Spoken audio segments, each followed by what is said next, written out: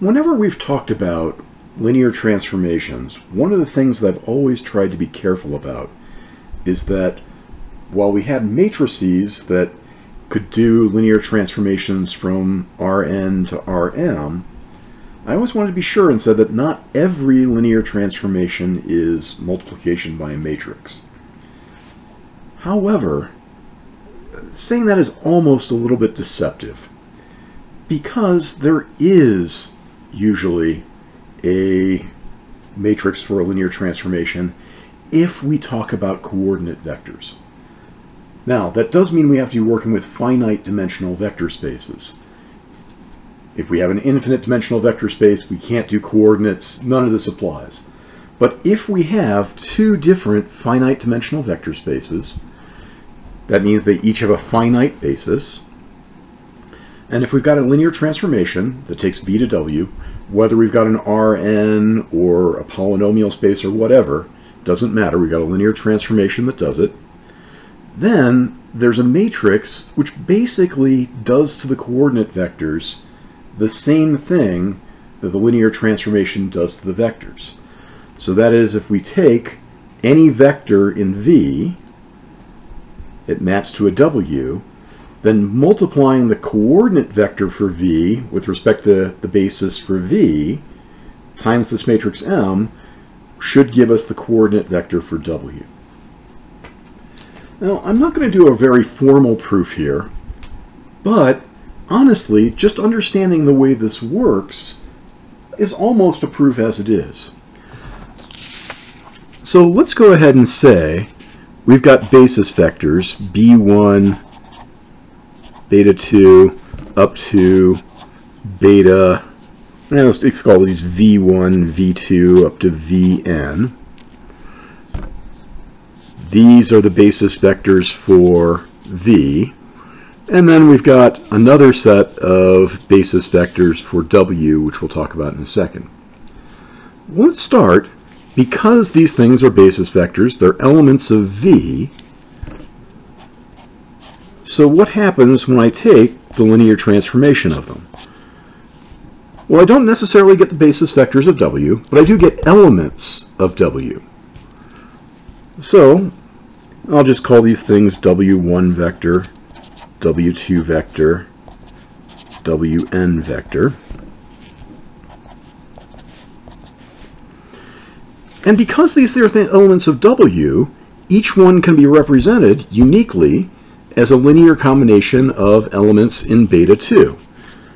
So this is some A1 times beta W1 plus A2 times beta W2 all the way up to a, it doesn't have to have N, so let's give it a different thing, AM beta WM. And here, I'll have a B1, a B2, up to uh, BM, beta, WM. And so on down the line. Uh, I probably shouldn't have used A's and B's, but it's getting confusing enough already with subscripts. Every one of these things has a linear combination. Well, hold on. So in terms of the coordinate vectors, what we're saying, since this is my first B vector, this is my first basis vector in, in the basis for V, its coordinate vector would be something where we've got 1 and then zeros everywhere else. And we're saying that's mapping to, well, the whole idea of the coordinate vector is it's mapping to A1, A2, down to AM. The second one is the second basis vector for V. So its coordinate vector would be 0, 1, 0 all the way down. And then that's mapping to B1, B2, all the way up to B, M. And so on down the line. Well, let's think about that though.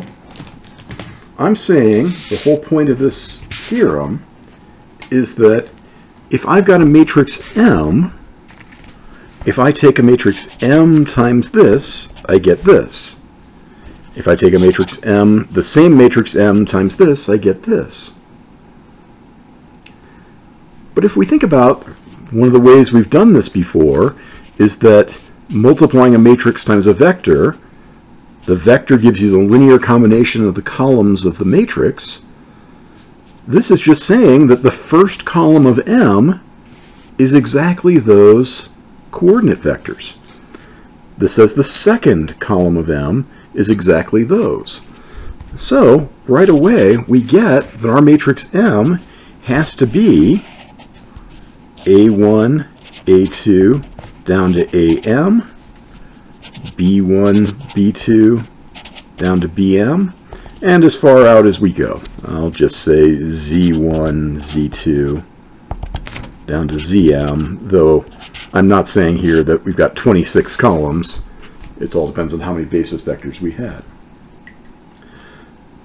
So immediately, this matrix takes coordinate vectors to coordinate vectors in the same way that the original linear transformation took vectors to vectors of, of W. Let's go ahead and stop this video here and let's do a specific example rather than trying to talk in general in the next video.